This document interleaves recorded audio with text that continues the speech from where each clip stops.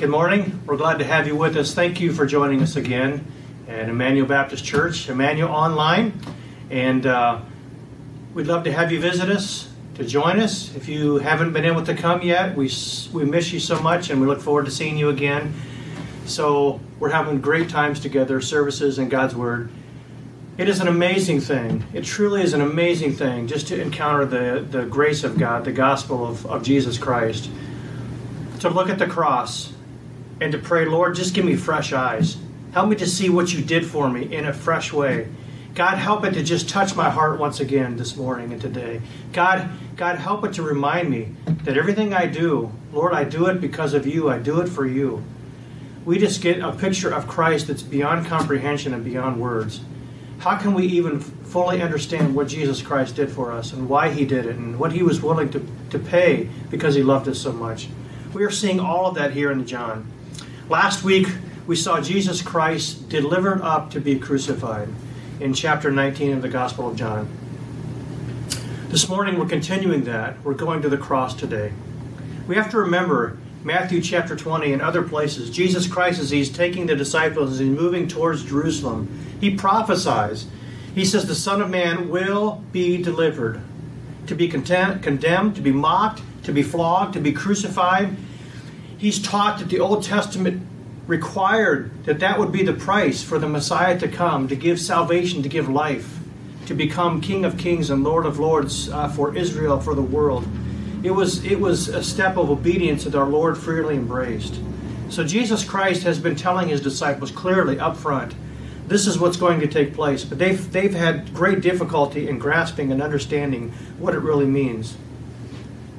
As Jesus came out of the Garden of Gethsemane, he came out with this commitment Lord, it is your will. Lord, I'm, I'm committed to your will. That is, that is his desire for all of us who are children of God, that we would be committed to the will of God in everything that we do. That was the Lord's commitment. It drove him forward. John chapter 17 and many other places also remind us that what drove him simply was the glory of his Father, the glory of God. That God would be glorified in everything that he did, how he did it, why he did it. And so Jesus was committed to that. He stayed the course. He went to the cross because he was committed to the will of God and the, and the glory of God. It was a great cost on Jesus. Jesus paid the highest cost. He gave the very highest sacrifice that could be given. He gave the only sacrifice that could be given to satisfy the wrath of God against the sin of humanity. And He took our place. There was a great cost to him, and he was willing to bear that. He was willing to take that. As we as we looked at that last week, we were just reminded Jesus Christ was was brutalized. Chapter 19. He was rejected, he was condemned, his his back was flogged, his skin was laid bare. It was raw, it was bleeding everywhere, his muscles, his bones Many times that punishment alone would bring death to a man. Even before they made it to execution, Jesus Christ would be flogged and then he would be executed. He was rejected by Israel, he was rejected by Pilate, by Herod, by his people. They did not believe that he was the Messiah, the promised one. He was condemned, he was condemned to die. And so I want to pick it up today here in verse 16 of chapter 19. We'll read the text and then we'll come back and we'll and we'll look at the, it this morning. John chapter 19 verse 16 and so and so Pilate he delivered him over to them to the Jews to be crucified. And so they took Jesus and he went out bearing his own cross to the place called the place of a skull, which in Aramaic is called Golgotha. And so they think it was named that because it probably looked like a skull or there were or is just a place where there were skulls that were remains after the crucifixions were over and the executions were over. We don't know for sure. And there they crucified him, and with him two others on either side, and Jesus between them. And Matthew and Mark and Luke have a lot more to say about these two, two criminals. Pilate also wrote an inscription and put it on the cross, and it read, Jesus of Nazareth, the King of Kings. And many of the Jews read this inscription, for the place where Jesus was crucified was near the city, and it was written in Aramaic and in Latin and in Greek. And Aramaic was, was the language of, of, of the region. Latin was the official language of Rome, of the soldiers, and, and Greek was really the language of the people. And so the chief priests of the Jews said to Pilate, Do not write the king of the Jews, but rather, this man said, I am the king of the Jews. They didn't want that. They didn't want to affirm that he was the king. They rejected that. Pilate answered, What I have written, I have written. He was, he was angry at them. He had been cornered into a decision. He couldn't move. He had no place to maneuver, and he was mocking them at every turn now and twisting the knife in them as a nation and as leaders at every turn. This was his way of doing that. But he didn't know also he was honoring Jesus Christ. That wasn't his intent, but it's true. He is the King of Kings. and what those and when the soldiers had crucified Jesus, they took his garments and they divided them into four parts, one part for each soldier, and also his tunic. So there's four soldiers who have the, the ultimate responsibility of this crucifixion. They divide his, his garments, but the tunic was seam, seamless. The tunic would be the uh, undergarment. It's woven in one piece from top to bottom, and so they said to one another, Let us not tear it, but cast lots for it to see whose it shall be. And this was to fulfill the scripture which says, They divided my garments among them, and for my clothing they cast lots. And so the soldiers did these things, dividing the sandals and maybe the belt that he wore, and the outer garment, and the other various things. But standing by the cross of Jesus were his mother and his mother's sister, Mary, the wife of Clopas, and Mary Magdalene. And when Jesus saw his mother, and the disciples whom he loved standing nearby, or the disciple whom he loved, he said to his mother, Mother, behold your son. And then he said to the disciple, Behold your mother. And from that hour the disciple took her to his own home. And after this, Jesus, knowing that all now was finished, said to fulfill the scripture, I thirst. A jar full of sour wine stood there, so they put a sponge full of the sour wine on a hyssop branch. They held it to his mouth. And when Jesus had received the sour wine, he said, It is finished. And he bowed his head and he gave up his spirit. He gave up his spirit. We just see the example of Jesus Christ here, of him being God, of him going to the cross and taking our place. He was brutalized, he was rejected, he was condemned. But not only that, he was alone. He was alone. We see here in this text in in verse 16 17 and he went out bearing his own cross. He buried his own cross. He carried his own cross. We see also down at the end of this chapter, we just finished it, in verse 30, when he received the sour wine, he said, It is finished. Only He could complete the course. Only He could go to the cross. Only He could stand in our place. Only He could give His life for us. Yes, we see from the other gospel that uh, there was a man named Simon from Cyrene who was who was compelled by Rome, who actually was forced by Roman soldiers to carry the cross of Jesus. It's most likely that he couldn't carry it just simply because of the of the his back being flayed, his back being whipped, scourged, and beaten, a lack of strength. But we're not that's not totally sure. It simply might have been somehow that they just wanted to, to mock and humiliate another person. We don't know that for sure. Because the scripture doesn't doesn't specifically tell us why this man was given. But it's most likely simply that Jesus Christ was beyond strength in the moment of having gone through all of this intense persecution and flogging and being hit and and uh, and all the things that took place. Jesus Christ was alone. He accepted that. There was no one else that could pay the cost that he could pay. There was no one else that could go to the cross. as the God the Father and the Son and the Holy Spirit from eternity past, as they as they laid out this plan, Jesus willingly laid himself and said before God is I will be the one. And as they planned from eternity past in God's perfect will, it was determined that Jesus Christ would be the one. And he willingly accepted that. And he was alone in those years, his years on earth. He had many that were surrounded him, and many who loved him, and many who were his disciples, and many who would turn to him in faith. But at the end of the day, he was alone. He was the only one who carried a burden that only he could understand. No one else could understand the weight of sin that he would carry. No one else could understand the weight of obedience that he carried. No one else could understand the weight of the calling that was his. No one else. He had to bear that alone. He had to carry that alone. No one else could do that. Jesus willingly did that. You know, when we are called by, by Christ to carry those burdens, he understands. He was alone. Not only that, he accepted the uh, being the fulfillment of God's word as this plan from eternity past was laid out, Scripture was written and Scripture was laid before us, and there was a plan that was laid by God. And Jesus was willing to accept fulfilling all of those details and all of those plans. That was his willingness. You know, in verse 23 and 24 and 25, when, when they took his garments, but they didn't tear his garments, they cast them for lots, and it's fulfilled here in verse uh, 24. We see that in Psalm 22, verse 18. They divided my garments among them, for my clothing they cast into lots. Uh, they didn't tear it. That was the fulfilling of, of Scripture.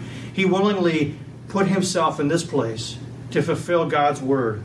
That's what he did. Not only that, verse 28.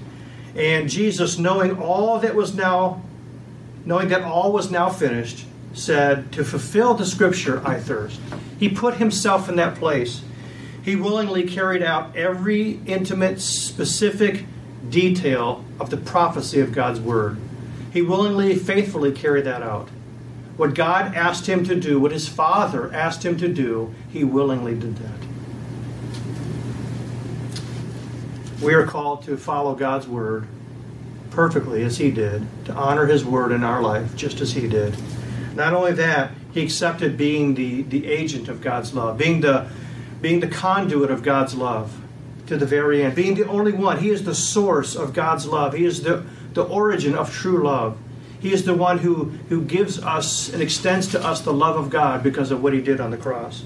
Because we see that perfectly here as he's on the cross in verse 26 when Jesus saw his mother. And there's the crowd there and the soldiers before him and the family and friends are probably back a little ways. They're held back, and then he sees his mother. And when he sees his mother, he extends love out to his to his mother. He says to John, John being the disciple whom he loved, and Jesus is the oldest of the other half brothers and sisters. He is the he is the oldest, the elder. And so he takes control here, and he's, and he's with love looks to his mother, and he takes care of the needs of his mother. It's interesting he didn't give the care of his mother to his brothers or sisters because we're not told yet at this point that his brothers or sisters have have trusted him, have given their lives to him, that they have faith that he is the savior of the world. We're not told that. They're going to respond in faith after he rises from the dead. He gives he gives the care of his mother to John. He loves his mother to the very end. That's what he does. You know, John 13 just reminds us here that having loved, he loved to the very end. Not just the disciples, but us, his mother, everyone who was who was of faith and who was a part of the family of God. He faithfully loved them. You know what? He loves you and I. As he calls us to a to a path, he loves us to the very end. He loves us completely. This morning, he loves you so much, and he will love you completely. And he will love you in every circumstance and in every moment he will be faithful to do that because he was faithful here to love not only his mother and and his disciples but all who followed him all who were out of this world who were called to him. That is key. Let's take a let's just take a brief look and just put some pieces together just so we have the pieces. From from Matthew Mark and Luke we can fill out the spots. He was stripped of his royal robe and then his clothes were put back on him after they took the robe off. His garments were put back on. Simon of Cyrene was forced to carry the cross. He was just he was just in for the for uh, what was going on that weekend, the, the Passover feast, most likely. Uh, um, and so the soldiers saw him and they forced him. He didn't choose, he didn't volunteer, he didn't want to do that. He was forced to do that. Jesus was offered a, a drink of myrrh. It was a narcotic, it was to dull the senses, it was to dull the pain. He refused it. He would go to the cross with his senses fully intact. He refused this drink. He prophesied. He prophesied of coming judgment. He stopped and he talked to the woman who they were weeping. He says, Don't weep for me. He says, Weep for Israel. He says, Judgment is coming to them. Weep for Israel, not for me. They were broken over the sight of their of their Savior, of their Master, of their Rabbi going to the cross, bleeding, having been flogged and beaten and shredded. He says, Don't weep for me. Weep for yourselves. Weep for Israel. He wept over unbelief. He still weeps over unbelief. He calls them to weep over unbelief. His garments were divided among the soldiers. We see the reaction of the people, of the criminals, of the Jewish leaders. We see that in, in real color in Matthew, Mark, and Luke. The criminals both mock him when, they, when he's on the cross initially, and they, they hurl insults at him along with the crowd.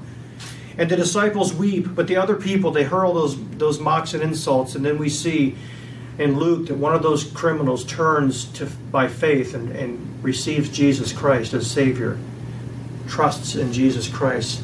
Everything about that criminal changes in that moment. Jesus says, Father, forgive them, for they know not what they do. Jesus says, Today you will be with me in paradise. He says that to this criminal who will who has put his trust and faith in him, whose life is transformed right there on the cross. There is a time of darkness, three hours of darkness we see in the Gospels. Jesus also says this My God, my God, why have you forsaken me? And then he says, Father, into your hands I commit my spirit. These are, these are other elements that come into play from the Gospels. And so we see that. We see the example of Christ. We see what he was willing to pay. What was he willing to accept unto himself so that he might be our sacrifice, our Savior, our provider, our advocate? The question is, what does that mean for us? Well, it means this that we are, when we receive Jesus Christ, we are called by faith into a relationship with him. What does the death of Jesus Christ mean for us? Well, it means salvation. It means relationship with the Father through Christ. It means that we can have life transformed, that what is dead can become alive. It means that we can ultimately have the assurance and the hope of heaven. But it also means much more. It means much more. Mark chapter 8, verse 34, it, it means this Jesus is speaking to the crowd before he's going to go to Jerusalem. And he says, he calls the crowd to him with his disciples and he says to them, If anyone would come after me, so this is the call. He says, Come after me. Come to me. Come after me. He calls the crowd to himself. He calls the crowd to faith. He calls the crowd to relationship. He calls the crowd into, into a life of change. It's very significant. What is it that he's calling every believer to? This isn't just to the disciples, it's not just to the crowd then and there. It's to every believer who calls upon the name of the Lord. When we are saved, we step into this relationship.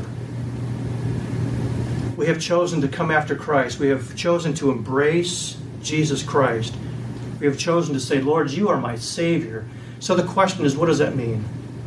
Well, it means this. Very, very clearly, the Lord teaches here are some things that we need to understand in our relationship with Jesus Christ. Here are things that we need to understand as we come to faith in Jesus Christ. It's interesting that verse 8, 34, he calls the crowd to him. The crowd are, is the crowd is not made up of all believers. The crowd is made up of unbelievers. The crowd is made up of those who have received Christ. The crowd is made up of these disciples and, and the larger group of disciples. He is still calling people to himself. Whosoever shall call upon the name of the Lord shall be saved. He is still extending that. He is still he is still calling to them to, to receive him as Savior in faith to come to him. But as he extends that call, hear what he says to those who would hear and to those who have already received him as Savior. He says to step into relationship with Jesus Christ, to accept the call of Jesus Christ, is to deny ourselves. He says, if anyone would come after me, we must deny ourselves. We must, we must accept this that life is no longer about me. When I become a child of God, everything, everything that was important to me, the values, what drove me in my life, what were the highest goals in my life, I now submit to Christ. I release them to Christ. My goals change. Now all of those goals are submitted to Christ. And so I say, Lord, if it's your will, I will do this. Lord, if it's your will, I will do this. Lord, if this goal, if this path is not pleasing to your name and to your testimony, to your plan for my life, I will gladly set it aside. I have to deny myself. Life is not about me anymore. Only the Spirit of God can change the heart of man. Only the Spirit of God can change your heart this morning. Within your heart right now as you listen, within my heart right now as I preach, is a is a propensity to think about myself first. That sin nature is still within me it is not it does not control me anymore because the Spirit of God lives within me. A child of God who is in relationship with Christ, the, the sin nature does not control us, but it influences us every single day and every moment. It is a constant battle. But in Christ, we have the ability to say no. We have the ability to yield and to submit to the Spirit of God, to the Word of God, to honor Him, to please Him, to do His will. We have the power in Christ to do that. Jesus says if you're going to be a child of God, you must deny yourself. You must accept this that when we step into a relationship, it's not about us anymore. It's not about me anymore. We yield that. We say, Lord, change, change my, change my, my sin nature that wants to make life about me, and change it so that my spiritual nature overrides that and my goal becomes my life is about you, Christ. It is about you, it is for you. I'm called to deny myself. I'm called to be focused on Him. I'm, I'm called to take up my cross, not only to deny myself, but to take up my cross. When I take up my cross, I'm accepting the, I'm accepting the path of God's choosing for me. The cross is His cross. The cross is His calling in your life. When He saves us, when the Lord Jesus Christ saves a child of God, when we step into relationship, He has a specific path for my life and for your life. He has a cross that He will choose for us to bear. He has a cost that He says to every one of us. This is what this is what you will accept as a child of God. To walk and to grow, to be conformed to the image of Christ, to bring honor to me, to bring glory to me. You will walk as I walked. You will understand that this world is an alien world. You will understand that to love Christ is to hate the world. You will understand that the world will hate you, will not honor you, will not want anything to do with you on many occasions, that the world will make your life difficult, that other believers may make your life difficult. You are called to live for me. You are called to take up the cross. There will be hardship because of because of my name stamped on your heart, on your life. It's not going to be easy. We are called here to take up our cross. See, Jesus Christ, He willingly went to the cross. Never, never, never forget that Jesus Christ took up His cross for you and for me. He took up our cross. He took our burdens, our weight, our sin. Our cross now is the obligation, is the duty of the call of Christ in our life. Our cross is the impact of what that means. Our cross is a world responding to Jesus Christ in our life. Our cross is not, not the burdens that we have because we make life miserable for other people. Our cross is not the sin nature that, that reveals itself in our life. That's not the cross. The cross is the purpose and the plan of God being carried out in my life. Our cross is, is walking in obedience to Jesus Christ. Our cross is doing it for Christ, the way Christ would have us to do, with a heart that honors Christ. Our cross is, is showing the love and the grace of God to a to a lost world. Our cross is being light in a dark world. And when that light is revealed, the darkness will flee, will hate us. We're to take up our cross. We're to say, God, whatever your path is for me, I, I accept it. Not only is that true, not only are we called to deny ourselves, to take up our cross, we're called to follow Him. He says, we're, he says, I am to deny myself, I am to take up my cross, and I am to follow Christ. The goal is this the goal of relationship is, is Christ centered living. The only way that I stay on that course is to keep my eyes focused on Christ. The path of blessing, the path of wisdom, the path of understanding, the path of righteousness is keeping my eyes focused on Christ. If you want to be a blessing and an honor and a testimony to Jesus Christ, to this world for Christ, if you want others to see Christ, if you truly want people to see Christ in your life, there will be a cost in your life. You and I are called to give up the things that would normally pull us away. We're called to let go of those enticements that draw us off of this path of commitment to Christ. We're called to keep our eyes focused on Christ. Deny ourselves, take up our cross, His cross, and to follow Him. To get on the path, to stay on that path, and every day say, Lord, today is your day. Lord, today I will follow you.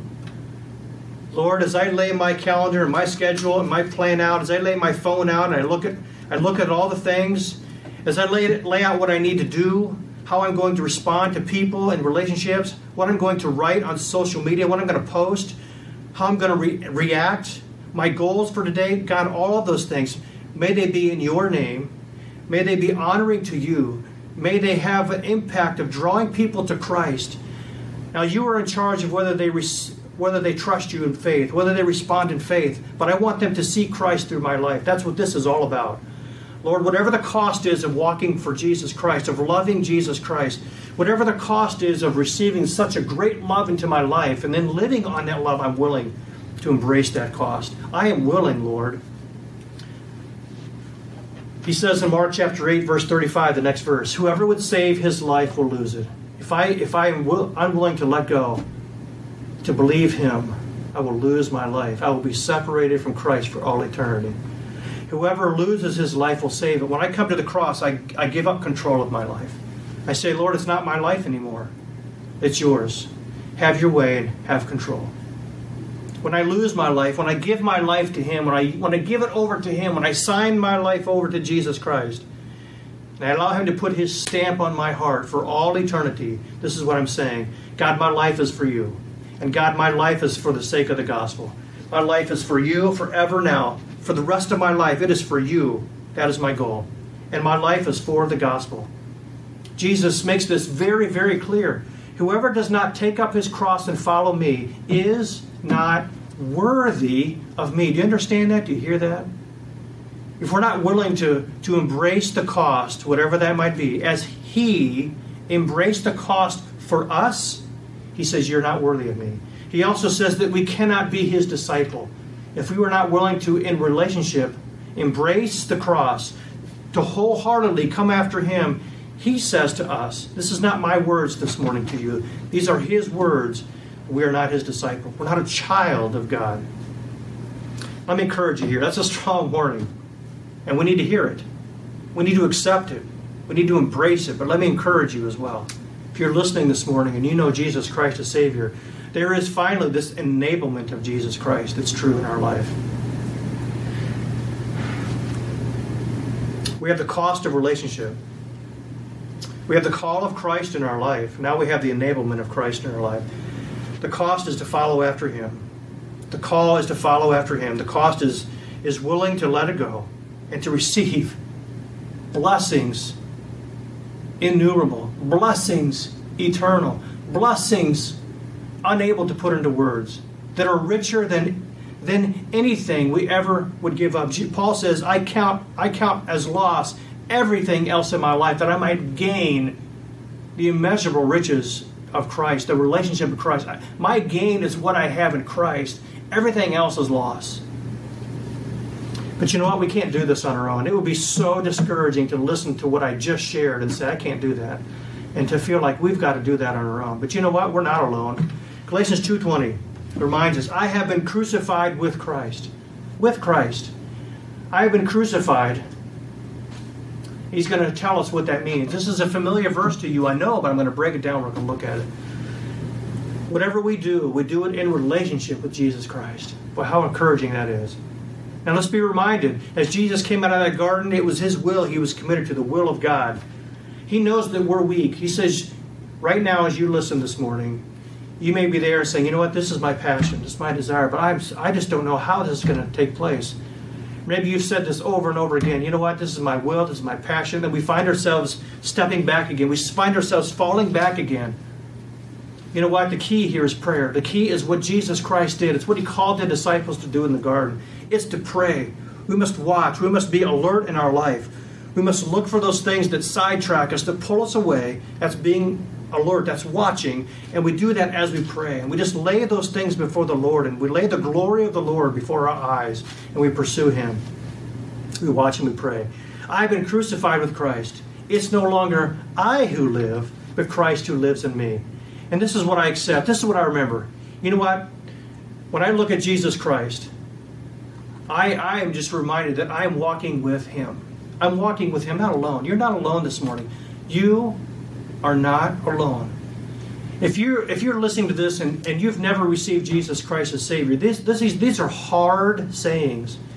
Yet the gospel is the most beautiful thing in the world. The cross is the most beautiful thing in the world. It is, it is an expression of God's love and grace. It is mercy to you and I that, that our sins and our scars can be washed and cleansed and forgiven. He calls us to a path that is not an easy path. It is an exceedingly difficult path. But we are reminded here that we're never alone. You see, he gives us a burden, a yoke, but that he says that yoke is easy because it's tailor made for each one of us. And he walks with us as we as we walk this path. And he carries that burden with us. And he gives us the strength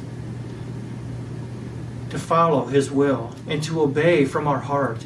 And he gives us the ability. He transforms and, and conforms our heart to his. He makes it possible.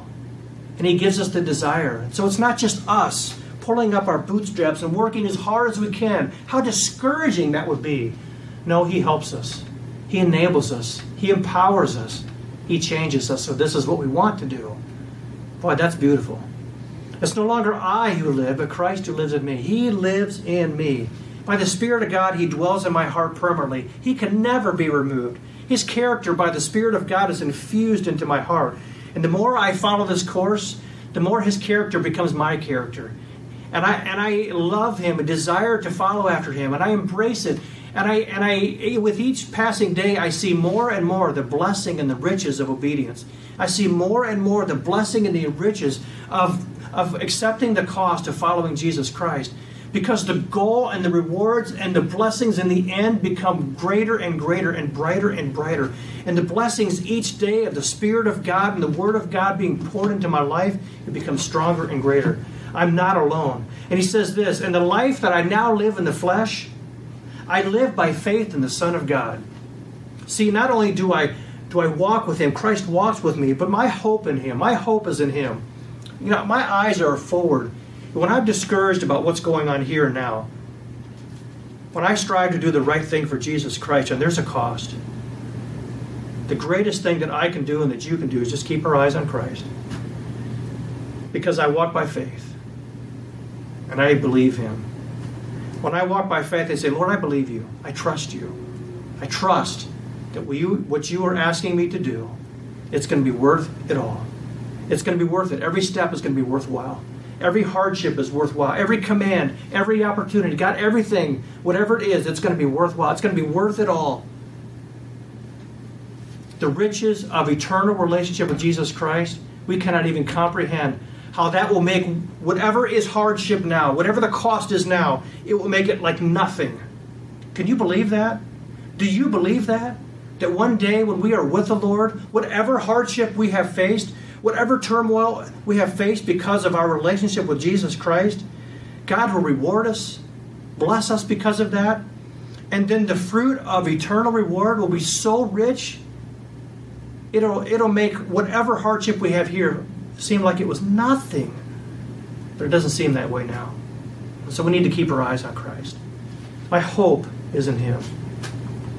We're crucified with Christ. We don't. Because why? I live by faith because He loved me and He gave Himself for me. You know, the greatest encouragement is this is God loves you. He loves you. He would never, ever ask you to take a step that He hasn't taken Himself.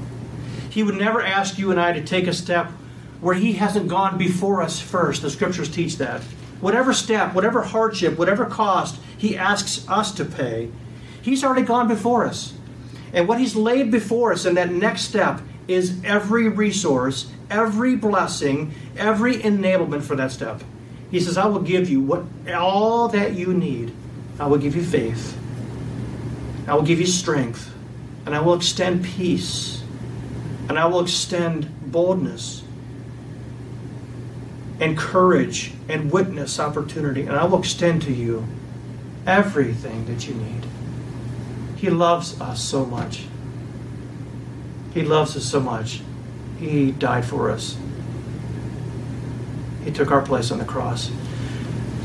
The gospel is a hard gospel. I'm saying to you this morning, it's a hard gospel. Yet it's the most simple thing in the world. When I trust Jesus Christ as Savior, when I confess my sin, when I confess the dirt of my life, He washes me and He transforms me. And the minute He does that, He places His Spirit in my life. The Word of God begins to take effect in my life. The character of Christ begins to be infused into my life. And I want this path. And I want this course. And I see the cost of walking with Jesus Christ as an opportunity to bring test glory to Christ, to be a witness for Christ. And I embrace it. And the riches of walking with Christ grow stronger every day. Peace of God and the love of God and the joy of God grows in my heart.